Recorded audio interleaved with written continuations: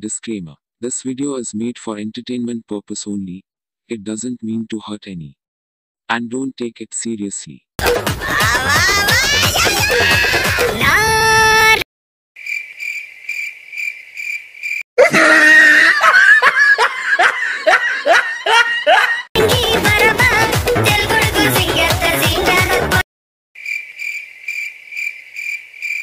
Ha ha ha!